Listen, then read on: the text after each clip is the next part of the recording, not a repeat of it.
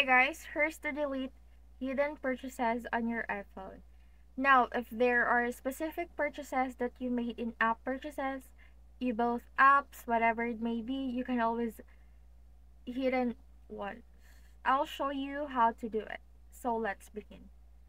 First things first, you need to go to your app store. Just tap on your name at the top right. And then this will pull up all of your purchases.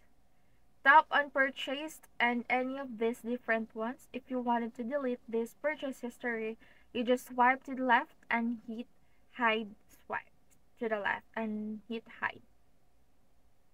This will hide all of them, but if you wanted to delete that hidden purchases history, there are some options there. So open up settings, just tap on your name at the very top.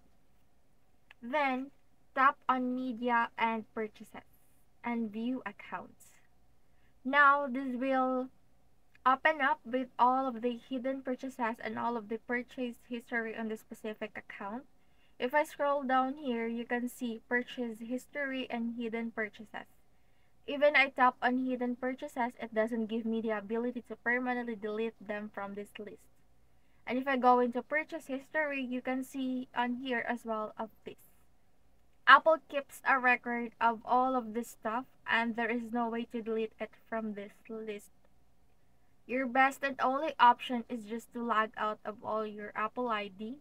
Just hit done and scroll to the bottom and tap on that sign out button and it will sign you out of your Apple ID.